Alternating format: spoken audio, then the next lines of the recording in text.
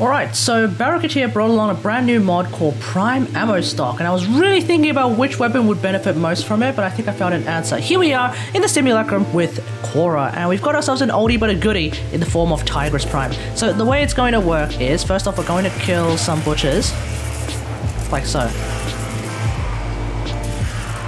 And now we're going to kill these Goksat officers. And it's a pretty brutal process. You're basically pumping two loads, I guess, from your Tigris Prime into these enemies.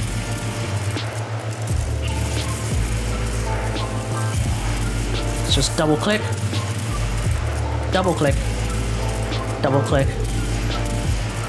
Just like that. And they are all pretty bloody dead. From the good old fashioned way of the mass slash procs that you get from something like the Tigris Prime. So let's have a look at the build that we're using with the Tigris Prime, and this is the build that we're using with the Tigris Prime. It is a bit of a mashup build, but here we go. We're basically going to go for nothing but status chance with Toxic Barrage, Frigid, Frigid Blast, Scattering Info, i.e. we've got ourselves Viral and Heat procs. We're going for Amalgam Shotgun Spazz because that extra fire rate just makes it feel a lot better. Otherwise, we're going for Galvanized Savvy because, of course, Condition Overload works really well on a weapon like this, especially after the first blast. Pretty much every other blast afterwards will do a lot of extra damage through Condition Overload.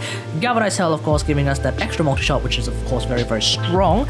Uh, Chilling Reload really just being there as a cheap mod, also that extra reload speed helps a lot. Otherwise, there is, of course, Prime Ammo Stock, giving us the ability to have two whole certs two whole sets of the normal magazine. Of course, every pump normally shoots two rounds, and now with prime ammo stock, we're able to shoot two times two rounds. So that's pretty much it. Let me know about all this in the comments, but are you going to be using the Tigris Prime anytime soon? Let me know in the comments. As far as I can tell, I think the Sancti Tigris is now the go-to shotgun of choice, at least in the Tigris series. So maybe that's why people don't use it, but I still think it looks pretty good, and I still think the weapon functions pretty well. So Maybe I'll use it over the Sancti Tigris. We'll just have to see.